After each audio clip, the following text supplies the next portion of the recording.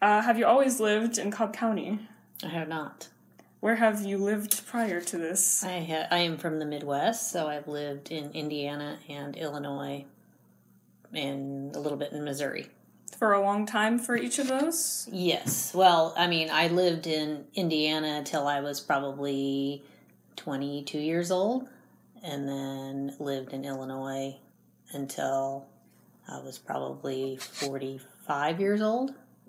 Um, and Missouri was a part time kind of stop in between there, but we lived on the what would be considered the metro east of St. Louis. So we were in the in the Illinois side of St. Louis, but we worked in St. Louis kind of thing. So that would have been kind of Missouri connection there. Okay. So then we've lived here in Cobb County for maybe six years. Gotcha.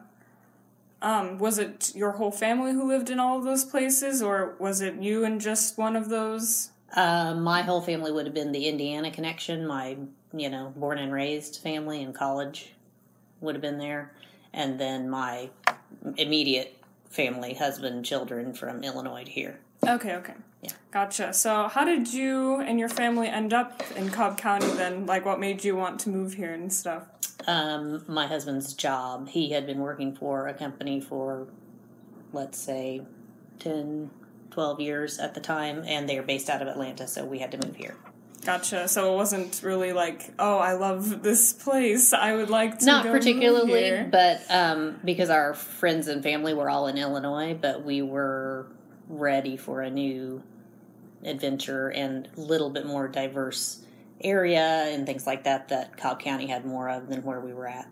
So we were interested in coming here, and the opportunity came about. So Gotcha. yeah, kind of Presented combination. itself. Yeah, Gotcha. yeah. Have you liked living here so far? we love living here. Do we you love like living it here in Yes. comparison to the other places? Um, the pace is a little faster here, but I feel like living in Kennesaw or living like in Cobb County, we sort of have the best of both worlds because I feel like it is a small town feel because it is you're in your own little micro communities and areas where you've got your own little zone that you function in, but yet you're a part of a much bigger area, much bigger society, and like I said, it's much more diverse here than it was in Illinois. So I think that's good. I think that's good for our kids. That's good for the you know the neighborhoods we live in, all of that. Gotcha. So that's been a, a good experience. And there's just more. There's just more here, more of everything.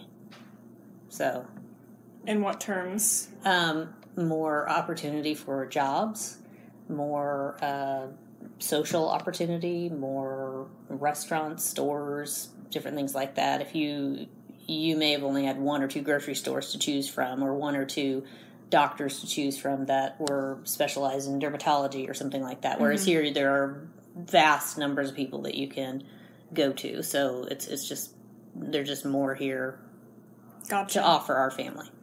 So Mm-hmm. you said you'd moved here around six years ago. hmm Was that in a particular month? Do you remember? I believe it was January. Oh, okay, Mm-hmm. that's that's really interesting that you moved like all the way down. So it Mm-hmm. was basically along the east coast. Well, we were mid, you know, total Oh, Midwesterners, Midwest, yeah. yeah. And then moving here. But like I said, the reason we moved here was specifically because my husband's company was based out of here. But also looking forward, like I had worked for a company, for example, who I work for a retailer, and all their buying offices and everything were based out of St. Louis. And so that was a good spot at the time. That's actually both we both worked for that retailer for Okay. many years, and um, over time, a lot of the headquartered things, like that company, for example, and several others, were leaving the St. Louis area and going other cities. So the opportunities there for corporate jobs, which is what my husband was doing or wanting to do, um, that those opportunities were dwindling kind of in that area. So we knew if we wanted to continue on going upward in our careers, or for him specifically, because at that time I was stay at home parent anyway, um, that we needed to move somewhere better suited for that. And so this area is better for that and has been better for his job. Gotcha. You know what he does in his job now, which is for the same company still, Mm-hmm. is um, he's he would have had to come here to grow to that corporate level. Gotcha. Are you still in retail? Are you doing that I still? am. Mhm. Okay. Could you tell me about the kind of home that you live in a little bit? Just describe it for me. Uh, single family home, two story, with a finished basement. Um, it has uh, five bedrooms and five baths. Gotcha. And uh, the type of ownership, do you own this house? Well, we uh, we are homeowners, but of course we have a mortgage, so we are paying into our mortgage monthly, as most people are. Okay. Yeah. But like you own it, you don't like rent yes, the house. correct. Yes, Okay. we own it. We are owners. Gotcha. Mm-hmm. Okay, cool. So now we're going to move on to the more um, solar based questions. Mm-hmm. So we're going to talk about, um, in your own words, like why you did, or obviously, as far as I can tell, did not adopt solar power for your house. Was it a conscious decision? It was not a conscious decision. Um, had it been a part of what this era of house, like let's say this house is maybe 14, 15 years old, I think. Um, had it been a part of what was already in this house, that would have been a, a bonus probably. But um, it wouldn't have been something that in, impacted my decision. Do I want to go look at this house, or would this be a house I'd consider if it did or did not have solar power? Gotcha. So if it had it on, you would still be interested in getting the house? Yes. Yeah, if it had it on and it, it was a proven, uh, you know, success, then I wouldn't know why you wouldn't be interested in having that. Gotcha. So when you did move into this house, did you make a decision either like by yourself or like a joint decision with your spouse, like whether or not you wanted to have solar? It was not a discussion really because this house didn't have that and it wasn't part of what we had in our what we were looking for specifically. It probably it would have been a bonus if it was a house we came upon and all the other things were in line and then that was also additional. That probably would have been something that if you could go back and say here's the history that shows what your electric bills or what your different you know here's here's where it shows that it's it's proven to be a, an advantage for this house that would have been a, a plus on something that it wasn't on our radar of things that we wanted we were looking for a particular amount of space number of bedrooms you know that sort of thing over solar that really wasn't part of the discussion Gotcha. So you would have liked it if it did have it? Like you would if it were proven to be something that was positive for the house yes Okay. it would have been something we would be interested in well we previously built a house in, in illinois and that wasn't had our builder been particularly knowledgeable about solar and would have brought it up and had some kind of positive type you know feedback from other customers about it we might have been interested in putting it in and we would have had a choice at that time but again it wasn't really necessarily on our radar to do it Gotcha. So since you've lived in so many various places, uh, did you ever consider or have solar in the previous places that you lived? No, I did not. Um, my experience kind of with the solar is there was a time frame in like the 80s when it kind of became popular because people were starting to be sort of semi concerned about the environment and they were building houses that had solar power and it was kind of a trendy thing back then to do. And then there was kind of problematic because it would work for a while and then it would be the panels would be leaking or there really wasn't the technology kind of like went on and the the people that had solar power in their homes would have to continually keep updating those. So the cost to do it probably did not um, precluded a lot of people from wanting to do it, I guess, because it, not a lot of people were having a, a lot of success with it back then because they were probably just taking their first stabs at how to get it into someone's home.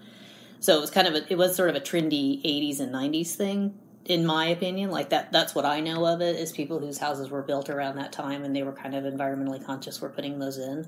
But I don't think that they were sophisticated enough really to garner the type of results that they wanted to make it worth doing.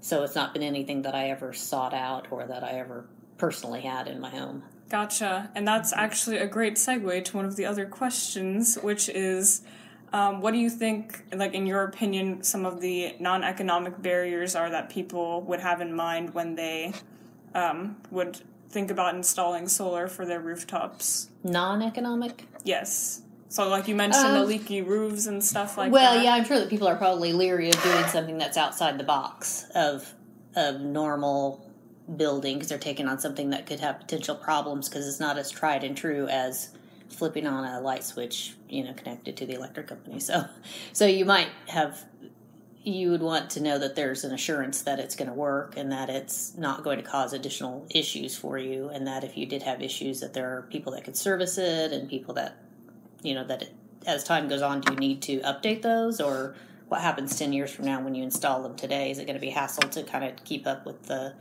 um, changing technology on it or that sort of thing? Is it going to end up causing you any problems?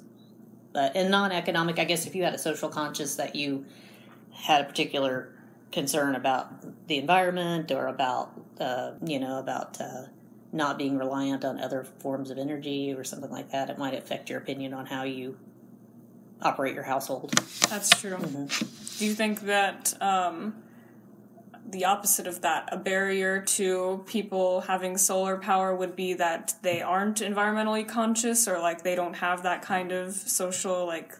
Um, Probably. okay, Probably either they they're not educated on it, which most people probably are not particularly, or they're not interested in, you know, in particularly in um, the environmental impact, uh, or they don't have the finances to change their current situation, so they wouldn't be, you know, unless they moved into a house that already had that, they might not be that that might not be on their radar. They might just be making their payments and not have you know the finances to do something extra for whatever gotcha. even in a, even if even if in the long run you save money doing it some people don't have that front money to put up to change their household over to something like that So specifically in Cobb, do you think um, people who have thought about solar, do you think that there are other economic or sorry, non-economic uh, barriers that they would perceive uh, in order to prevent themselves saying, "Oh, I don't want solar power because of this." That isn't an economic factor. I guess I'm I'm I'm kind of like sheltered in the in the thought about like our neighborhood, for example, and what what is your what does the appearance of your house look like if you have solar power? Do you need a certain amount of land for that? Is it is it on your is it a unit on your house or what you know what does it look like? How does it impact the look of your property and that kind of thing? I guess they might be wondering what how it would impact their curb appeal. I don't know because I don't really know what a unit or a you know what it would look like to have that in your home. Do you think um, our neighborhood specifically, do they have standards that they would say, oh, I don't want you to have solar because it wouldn't make the neighborhood look uniform or something like that? Do you think the association here I mean, I think that could be an issue, but I don't. Again, I don't know what a standard like unit would look like. Is it is it something that is mounted to your roof? Is it something that you have to have a grid somewhere in your backyard? It just it, that sort of depends because even here, if you wanted to have a non-standard mailbox, that's not acceptable because if one person has a non-standard mailbox, the next person has a cow mailbox, and the next one has a fish mailbox, and same thing. If you said you wanted to have a solar power thing and it's on, you know, it's it's on the back corner of your roof, that's one thing. But then if you have grids all across your front yard, that's another thing. You know, so you have to have one standard answer that's probably appropriate for everybody to, you know, it's either you can do it or you can't, or you can do it within these parameters only. So, um, you know, some people may be concerned about that. I guess. Gotcha. If I said it was just rooftop solar power, would that change your answer or perception on that question? I mean, it wouldn't bother me personally if someone had a rooftop, but yes, I think if it was a unit that blended in with the aesthetic of your house, that people would be more interested in it. okay. Do you think that's like the main uh, non economic barrier that they would have to not adopt? Um, I think people want convenience; they don't want to have to have anything that could potentially have any issues with it. So it, it would have to be something that's very easy, um, that's proven to work, and that is easy to maintain because people don't want to mess with stuff. You know, even to get the impact that you're, you know, that you could potentially get, the gain you could get from it has to be easy to get. It has to be um, not even necessarily reasonably priced in in this area that we're in because I think if people really cared about it, they would pay for it if it had some you know future payoff for them, whether that's finances or whether it's you know whatever they feel socially that they want to do about the environment. Gotcha. So now we're going to um, pinpoint the question a little more and uh, pretty much the same question. If you had the option, would you put rooftop solar on your home and why or why not would you want that? If I knew more about it and I felt like it would, for me, it would probably be. I'm not as personally committed to the savings of the energy and all that as much as I would be about my own personal um, electric bill going down or something like that. I mean, that's just an honest answer is that I'm not an environmentalist particularly. Um, so for me, it would be knowing for certain that the cost that I put into it in the long run would benefit me a for me personally to benefit the time frame that I'm living in this house because of the energy savings and all the things, all, understanding all the benefits of it and the cost of it, and also then looking forward to if I were to sell this house in 10 years or 20 years, would that technology that I'm putting on today benefit me if I were to go to sell it? Would it would it be more attractive to people? Is that what people are looking for? So I'd always be looking at it. Does this improvement equate to what I want it to, or would it just be me putting money in for that? Gotcha. So, in terms of just your own personal self, if there wasn't an economic barrier, what would some of the non economic barriers be for you personally to adopt? Non economic, again, I'd want it to be I don't want to say foolproof, but I'd want it to be um, to known to perform and me not have to have someone here maintaining it, known to not be problematic. And that would be, I guess, important. I mean, because the rest of it's kind of tied to the financial part of it, really for me. Um, so with the maps, it allows us to talk more about rooftop solar in general for like more of like people who live all over the place. So are you talking mostly about like um, like for homes, or are you talking about businesses and? We're talking about rooftop solar for people's homes okay, generally. So, so like people homes. who either own or rent homes, just like people who have homes, like would they put solar on their homes okay. or not? Because I mean, there's some places like when, uh, like on our drive home to Indiana, for example, mm-hmm. we go by a lot of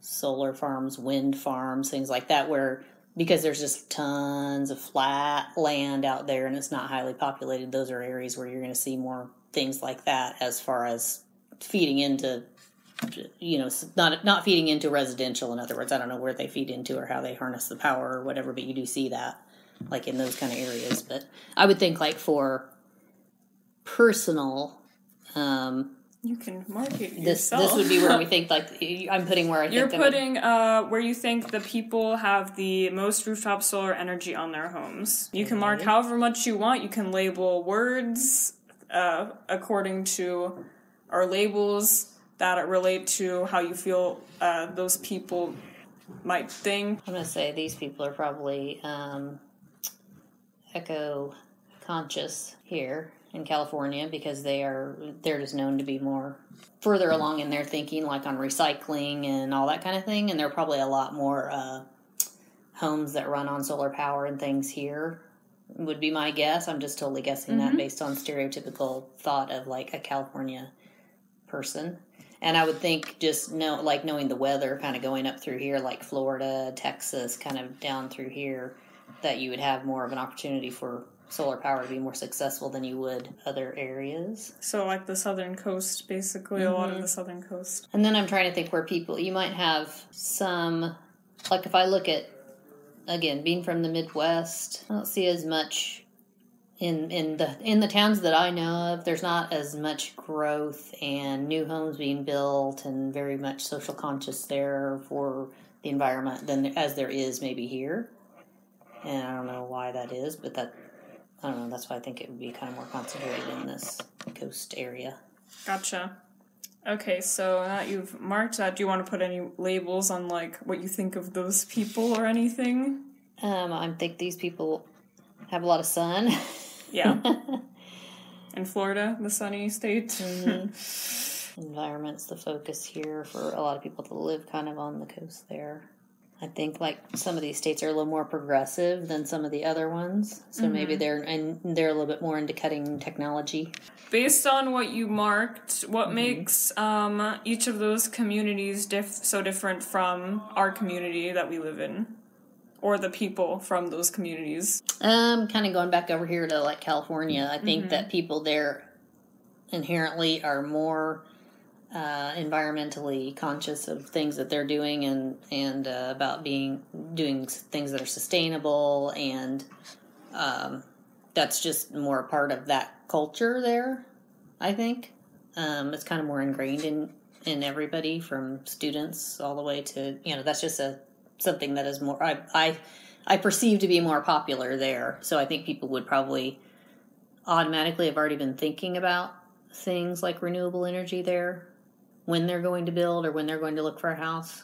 Where that's not been like a focus or one of the main things you check off on your list either either place that I've lived, either the Midwest or here. But I also haven't sought that out. Okay. Was there a reason uh, further reason that you chose uh, Texas and Florida and all that? Like the people, like was there reason in terms of are those people really different from the people where we live? Um, I don't, people wise, no, not necessarily. I think I was just really thinking of where it would be.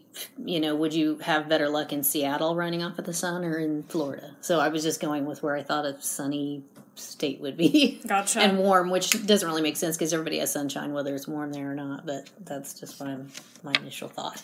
Gotcha. So you just pretty much chose that solar would be there because it makes sense for it to be there because of the weather and stuff. yes, Okay. the weather and yeah. So, uh, do you think other things would maybe play into why people would adopt more solar there? Say political issues or policy making and things like that? Could be, could be. It probably, I'm guessing that more democratic thinking states may necessarily they they may be more keyed into those types of programs maybe than what others are. Traditionally republican kind of thinking. I don't know. I hadn't really thought about it till just now but yeah I, that, that probably has to do with with uh, some of it Okay. What kind of like factor do you think would affect adoption the most, I guess, like within the states that you uh, marked? Uh, it could be that if if states um, have some sort of a program where you get some sort of benefit for participating in something like that. Let's say you get some kind of a tax break or something for adopting that type of um, situation in, in your home, then people would be more inclined to look into it. Gotcha. And if there was more information or education on it that was of interest to people, because there's a lot of information on everything out there, so you have to you have to catch people's interest about how it would benefit them. mm-hmm. So they might be more likely to adopt if there's some sort of financial um, benefit to it.